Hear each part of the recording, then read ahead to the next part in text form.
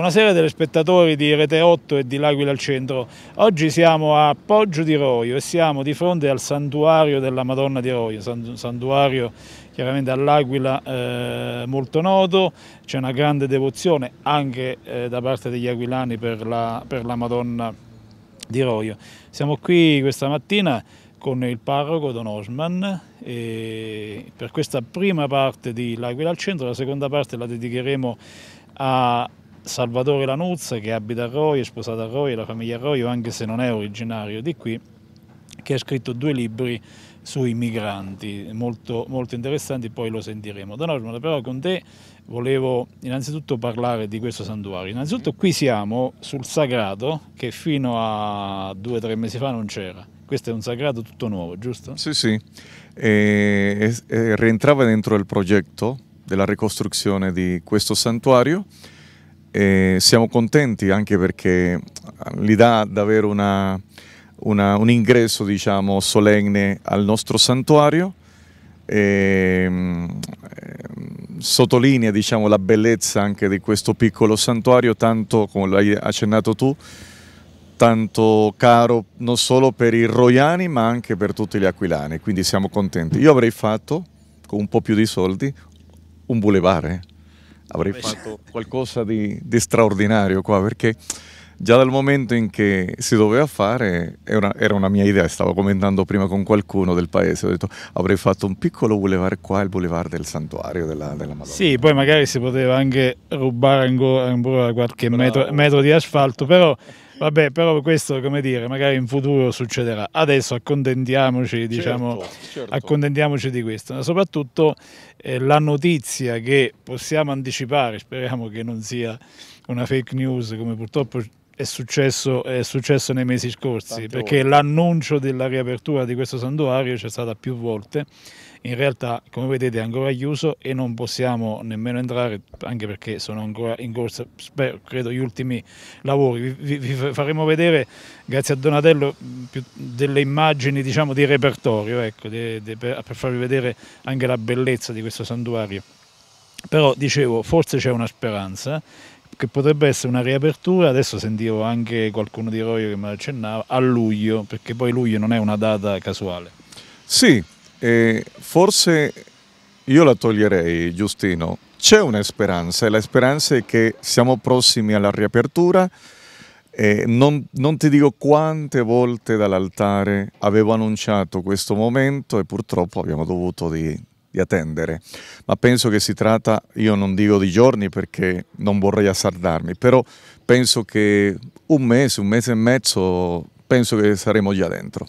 Beh, la data, diciamo, la data che sarebbe anche eh, simbolica potrebbe essere i primi di luglio, no? perché si celebra i primi di luglio c'è la Madonna delle Grazie. Qui c'è questa bellissima statua della Madonna con un bambino che, che ha tutta una, una storia legata alla transumanza, quindi eh, è comunque una bella storia, diciamo, al di là del, eh, di quello che vedete qui alle mie spalle e di quello che vi faremo vedere anche al, all'interno. Io eh, rifaccio eh, rapidamente la storia di quello che è successo negli ultimi anni. Nel 2009 naturalmente il santuario viene danneggiato, interviene con un cospicuo finanziamento la regione Liguria, sì. se non ricordo male, vengono fatti dei lavori strutturali, quindi dal punto di vista della sicurezza sismica eh, vedete anche le catene, insomma questo santuario è sicuro, almeno, diciamo, almeno che non, non, si apra il mondo. Insomma, ecco. Poi però che è successo? Che mancavano all'interno diciamo, dei lavori agli apparati decorativi, diciamo così, quindi sì. a, ecco, che cosa è successo in questi anni? Sì, ehm, poi mano a mano giustamente il progetto è stato portato avanti, eh, tu l'hai accennato prima, eh, la prima cosa è la sicurezza. Dobbiamo dire che eh, nonostante il terremoto del 2009, che l'epicentro è molto vicino a noi, eh, comunque il santuario non ha avuto dei danni così forti, cioè non è che è crollato totalmente, però ha danneggiato soprattutto affreschi bellissimi, eh, parte strutturale, ma niente di, diciamo così, di grave che che poteva in certo modo diciamo, far crollare almeno domenica, in quella, quella domenica purtroppo del 5 del, del aprile, eccetera. Questi anni giustamente mano a mano hanno continuato questi lavori sentiamo adesso, sentiamo battere da, da, da dentro. Continuano, continuano. E niente, eh, la, la, bellezza di, di, di, questo santuario è che ha forma di, di croce greca, è, è, piccolino, si concentra tutto in, un, in, uno spazio molto limitato e sicuramente questo ha reso che si svolgesse ancora molto meglio di più diciamo, questo, questo restauro. Tra l'altro eh, in questi anni eh, la statua della Madonna di Roio l'abbiamo vista spesso, eh, soprattutto vicino ai papi, no? l'abbiamo vista eh, nel, proprio nel 2009, quando la statua fu portata alla scuola della Guardia di Finanza in occasione della visita del Benedetto XVI e poi anche quando è venuto Papa Francesco, mi sembra. Sì, sì. Eh, anzi, possiamo andare pure ancora indietro quando nell'85 giustamente il Papa Giovanni Paolo II. 80, era, credo, 80, insieme al Cardinale Confalonieri che tra l'altro era molto legato alla Madonna di Roma. Ho una confusione perché poi eh, nell'85 è stato in Venezuela quindi io sono rimasto con quella data, il primo incontro con lui. No, nell'80 quando lui si è recato qua giustamente si è inginocchiato lì davanti alla statua, onorandola eh, proprio qui in questo piccolo santuario, cosa che eh, sicuramente non succederà mai più, penso credo. Beh, non, non, vediamo, non si sa mai. la speranza. E, ehm, e, niente, poi quando è venuto, io mi ricordo quel giorno che Don Claudio Tracagna mi ha telefonato dicendomi guarda Don Osman, eh, la Madonna di Roio verrà messa lì alla Guardia di Finanza proprio per, per la, la, visita e per la, per la, Santa Messa, che poi tra, tra l'altro il Papa Benedetto XVI ha donato alla Madonna la Rosa d'Oro sì che noi conserviamo ancora, sta in curia.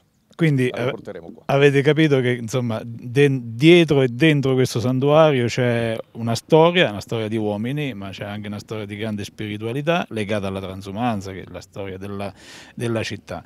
E noi ringraziamo Don Osman per averci anche permesso di poter fare questa, questa intervista qui davanti al santuario e, adesso passiamo alla seconda parte della, con, eh, della nostra trasmissione con eh, i migranti e con il libro di Salvatore Lanuzzi. Questa seconda parte di L'Aquila al centro di, di questa sera eh, la dedichiamo, siamo sempre a Roio, siamo a fianco al, al santuario che, di cui prima abbiamo parlato con uh, Don Osman, con il parroco, e invece qui vicino a me adesso c'è Salvatore Lanuzza. Salvatore Lanuzza eh, è, non è aquilano, nel senso lui è nato a San Severo, è nato in Puglia, ha girato un po' l'Italia, Pordenone, Chieti, Pisa e poi è approdato all'Aquila dove si è sposato, si è sposato con Anna, qui dirò io, eh, ha un figlio e ha messo le radici praticamente qua. Adesso diciamo, eh, diciamo in pensione, ecco tra virgolette, eh, si è dedicato ormai da molti anni al volontariato, eh, lavora eh, nella chiesa di, di, San Francesco di, di, Pettino con Don Dante Di Nardo che è il responsabile della Caritas eh, diocesana e eh, si occupa di migranti. Diciamo è quello che normalmente si chiama il mediatore culturale, che è una parola un po' complicata, ma è quello che crea diciamo, l'empatia fra il migrante che arriva, che quindi sta spaesato, non conosce la lingua, non conosce la nostra cultura, e la nostra realtà, cercando possibilmente, nei limiti del possibile, di inserirli eh, nel lavoro o comunque diciamo, più in generale nella società. Salvatore eh, ha scritto due libri e per questo siamo, siamo oggi qui con lui ha scritto due libri, uno è stato pubblicato qualche mese fa, è La libertà che affonda, e il secondo è Donne, destinazione oltre, le edizioni Il Viandante. Avrete già capito, eh, poi grazie a Donatello vi faremo vedere chiaramente anche le, le copertine, che si parla di migranti. Eh, noi, noi, persone che magari siamo un po' distratti da questo fenomeno, per noi i migranti sono quelli che vediamo la sera alle 8 al telegiornale della sera appunto e che arrivano con questi barconi, poi c'è una parte che muore in mare, una parte che si salva, tutte le polemiche che sappiamo che ci sono intorno a questo, a questo fenomeno. E potremmo dire, Salvatore, che sostanzialmente per noi i migranti sono dei numeri, per noi ecco appunto distratti da, da tante altre cose. Sono dei numeri, ne sono arrivati 100, 200, 300, 8.000 l'anno, ma dove vanno, dove non vanno, però per noi ecco, sono appunto solo dei numeri. In realtà dietro a questi numeri ci sono delle persone e tu in questi due libri che ho citato racconti queste persone.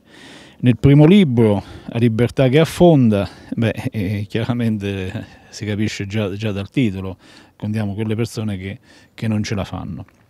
Io però mi vorrei concentrare di più su questo secondo libro, Donne, destinazione oltre, perché tu qui in questo libro racconti storie di donne, soprattutto di giovani donne, e, e sfati anche un po' di, di, miti, come dire, che noi, eh, cioè di miti, di, di, idee che ci siamo fatte sbagliate, cioè di queste persone che vengono qui perché, come dire, vogliono approfittare, vogliono vivere meglio. In realtà tu racconti storie terribili, cioè queste persone poi si allontanano dalla loro patria di origine perché vivono o hanno vissuto storie drammatiche. Io qui me ne sono segnate alcune e, però prima di, and- di andare nel, nel, dettaglio volevo capire, ecco, tu come hai, le hai conosciute queste ragazze e ragazzi naturalmente, perché qui si parla molto di, di donne, ma naturalmente la stessa cosa vale. Quindi tu le hai conosciute sostanzialmente per il tuo lavoro. Sì, certo, eh, eh, i ragazzi fanno parte del, del mio ambiente, eh, sono genere maschile eh, sono tutti migranti e mm, io appunto come dicevi giustamente tu faccio il mediatore culturale, è, un, è, un, eh, è una persona che dovrebbe mediare eh, tra le due culture cercando una via intermedia di, di incontro tra le, le, varie culture. Veramente le culture sono tantissime, ci sono le culture arabe che sono molto molto dure culture asiatiche, eh, Bangladesh, Pakistan, che eh, seguono a ruota, poi culture africane che sono quelle che eh, in pratica soccombono un attimino alle culture più, eh, più avanti, tipo quella araba che eh, aggredisce in maniera eh, evidente. Eh, aggredisce le culture più deboli come quelle africane, basti pensare che per tornare in tema eh, il primo libro, eh, beh, eh, le barche, le imbarcazioni, sia pure eh, arrugginite, sia pure insomma, dei ruderi eh, galleggianti, eh, bene, i, gli africani perché sono neri, perché sono la razza più debole, razza più debole, vengono messi sotto coperta e invece i bianchi stanno sopra all'aria aperta e questo perché? Perché in caso di incidente i bianchi eh, si devono salvare. Quindi ci stai dicendo che anche in questi viaggi della speranza, in questi viaggi che spesso finiscono tragicamente, il razzismo si è insinuato moltissimo. Sì, sì, c'è... c'è eh, guarda Giustino, eh, io ho conosciuto il razzismo personalmente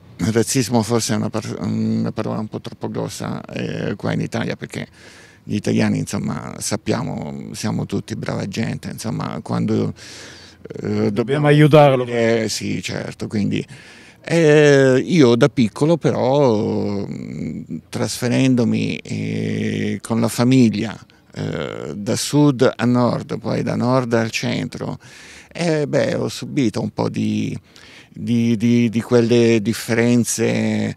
Secondo di quei sospetti, ecco. Eh, cioè praticamente tra bambini, eh, sempre tra poi magari tra adulti le cose cambiano, cambiano aspetto, anche se penso che eh, continuino a esistere. E questo quindi si ripete dicevi, anche fra, fra, queste persone che arrivano sì, qui? Sì, sì eh, dicevo, eh, ho conosciuto questa, questa forma un po' leggera di razzismo, diciamo leggera, ma tra i ragazzi devo dire che eh, c'è esasperazione eh, forse ecco, la guerra tra deboli eh, porta proprio alla esasperazione e alla disperazione. Eh, ci sono, eh, per esempio, eh, pakistani e bengalesi insieme non si possono tenere.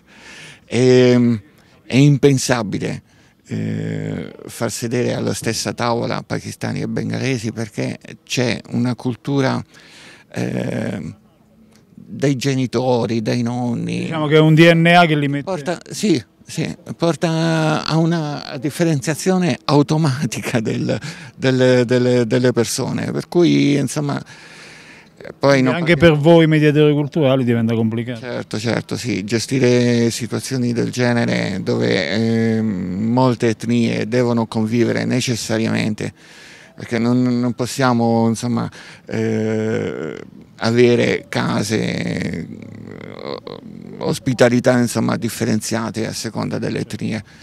Per cui e dobbiamo tenere per forza assieme arabi, eh, magari palestinesi e, e insomma eh, pakistani, bengalesi, africani. Diciamo, tutte, eh, tutti coloro che in qualche modo arrivano devono essere trattati innanzitutto allo stesso modo e poi va, va trovata una situazione che, che consenta di stare in qualche modo diciamo, bene a tutti. Certo, e lì entra, entra, in gioco il mio lavoro, cioè un lavoro fatto di eh, mediazioni, cioè cercare di ehm, far arrivare la mentalità, la cultura eh, di questi ragazzi a un, un punto intermedio tale da eh, autoaccettarsi fra di loro e accettare la nuova cultura, eh, quella ospitante che è la nostra.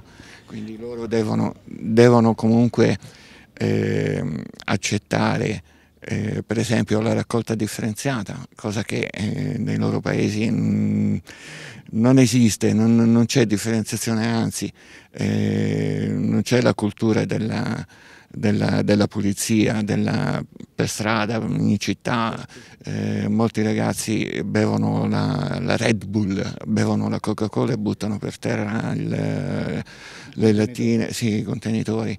E quindi lì insomma, eh, a cercare di convincerli a a, alla cultura, alla nuova cultura, eh, nuova perché insomma questo pianeta eh, va diciamo, eh, certo, il pianeta va salvato e, e, e, e loro devono adeguarsi. Eh, certo, ecco, ma eh, diciamo che anche, anche noi diciamo, spesso siamo indifferenti alla, alla, natura, eppure noi i contenitori spesso li buttiamo, magari vanno a finire in mare, sappiamo sappiamo le, eh, quello, che, quello, che, succede. E io vorrei ecco, entrare un attimo un po' più nel particolare. Tu in, in sostanza in questo libro racconti storie di queste persone che arrivano eh, da noi e, e, ci fai capire appunto che mh, non è che a un certo punto loro una mattina si alzano e decidono adesso vado in Italia, no, c'è tutto un percorso spesso tragico di, di, di, queste, eh, di queste persone, soprattutto donne. Per esempio io qui nel tuo libro in cui parli soprattutto di giovani donne, eh, qui ne, ne, ho presa una per esempio, Nazli, che mh, mm, afghana e che studia ingegneria, che quindi vuole costruirsi un suo futuro poi un giorno, lo sappiamo, qualche anno fa, cambia, cambia tutto. Anche in Afghanistan, torna il regime dei talebani e purtroppo le donne eh, dire, vengono, eh, eh, vengono, emarginate, quindi lei non può più studiare. E, e, da lì inizia tutto un percorso di sofferenze e anche di violenze che a un certo punto convincono questa ragazza me ne devo, me, me ne devo andare. Parte e inizia questo percorso che è una sorta per loro di, di via Crucis, perché poi si approda ai famosi barconi che non sono a gratis, come si dice, no? perché eh, diciamo, eh, i, chi, chi, ha queste barche, che spesso poi sono delle vere e proprie tombe, chiede tanti soldi. Certo, sì. Sì, la, mm, il libro si snoda raccontando inizialmente le storie di quattro ragazze eh, di diversi posti del, del, del, del mondo. Eh, quella che dicevi tu è, è la ragazza afghana che eh, studia ingegneria quando ci sono gli americani arriva eh, insomma, a un certo punto a pochi passi dalla laurea e gli americani se ne vanno, arrivano i talebani che eh, promettono inizialmente la, la parità, promettono di, di, essere i nipoti di, di, quei talebani che avevano saccheggiato e danneggiato la, la, la cultura afghana. E in realtà però eh, si vede subito che eh, le donne per strada incominciano a mettersi il velo, incominciano a coprirsi la faccia, incominciano a coprirsi tutto il corpo, fino ad arrivare che mm, chiudono anche le università alle donne. E la nostra eh, ragazza, insomma, a un certo punto eh, non vuole negarsi eh, quel diritto allo studio, quel diritto a, a cercare insomma, un futuro e insieme ad altre due amiche decidono di, di imbarcarsi, di arrivare in Occidente. Poi eh, la, la, la, la, storia, la trama, insomma, porta, li porta in Italia, a fermarsi in Italia, studiano e e così riconquistano il futuro che avevano sognato in patria. Una cosa che ho notato leggendo il, il tuo libro è che tu eh, in realtà non, cioè, naturalmente parli delle cose che ci hai detto anche adesso, però come dire, tu non colpevolizzi mai, cioè non, non parti da, non colpevolizzi mai culture altre, diciamo così, prendi atto che accadono delle cose e parli con queste persone, parli con, con, queste eh, ragazze cerchi di capire le loro motivazioni, che spesso noi, appunto, abituati solo ai numeri, non, non riusciamo a capire, no? eh, parliamo spesso di invasione, eccetera. Qui invece ci sono le tue storie, sono storie di, di, di ragazze e ragazzi che sono costretti ad andarsene, altrimenti verrebbero uccisi. Poi, nel caso delle ragazze, eh, qui c'è una, una ragazza nigeriana, Cadia, se non, se, non, se non, ricordo male, che addirittura è costretta ad andarsene perché il suo villaggio a un certo punto viene incendiato, i suoi genitori vengono uccisi, insomma lei praticamente deve, deve scappare via.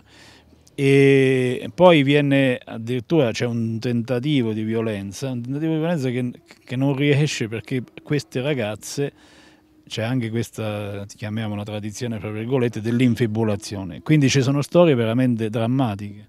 Sì, sono, sono, storie tristi, drammatiche alle nostre menti, ai nostri occhi.